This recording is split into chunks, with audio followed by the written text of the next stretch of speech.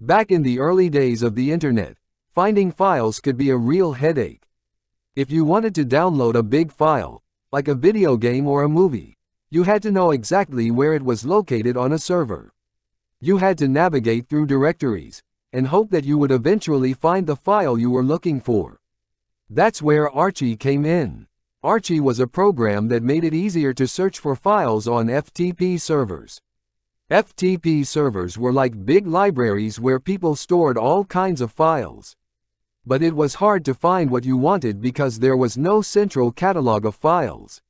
With Archie, you could search for files on one or more FTP servers at once. You didn't have to know exactly where the file was located. You just had to type in a keyword, and Archie would tell you which servers had files that matched your search.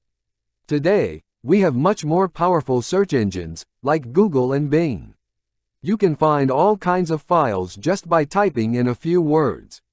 And we have peer-to-peer -peer file sharing services like BitTorrent, which allow you to download files directly from other users. But Archie was an important step in the evolution of the Internet.